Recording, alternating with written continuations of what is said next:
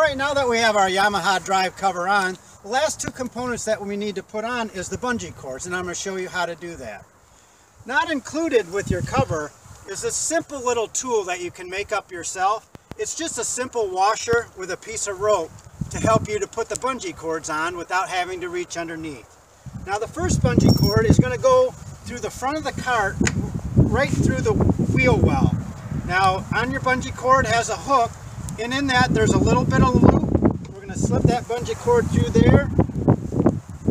With our simple little tool, it's very simple to toss it underneath. And then all we have to do is pull the bungee cord through. And then we'll attach it to the other side through the wheel well. And you can see what that's going to do. It's going to start to pull the cover closer so that we're not going to get any drafting at the front of the car. Now the second bungee cord is going to go on the front windshield. Now this bungee cord, we have these two zipper loops that will put it through right there and bring it to the other side and right there.